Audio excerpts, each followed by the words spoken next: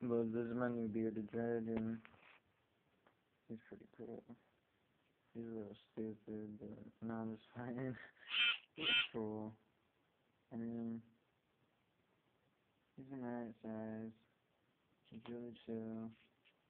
Like, you can do anything to him. He's gonna do you. See? He's like really, he's strong.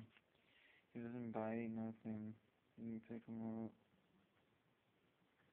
He's like the most laid back one I've ever seen. See? But yeah, that's what's up. He's my bearded dragon. He likes to baste a lot. I don't know. You guys think that's bad or good? You should tell me. He bastes a lot. And I'll do updated videos and stuff of him. Of how big he grows and stuff.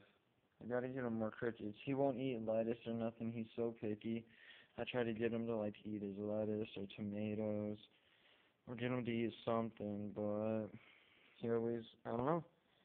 He always refuses and runs right on his rock and sits right on top of it and absorbs the sun. He's crazy. He's a picky eater, only eats crickets for now. Be feeding him pinkies and stuff later and all that. But yeah, this is my new bearded dragon.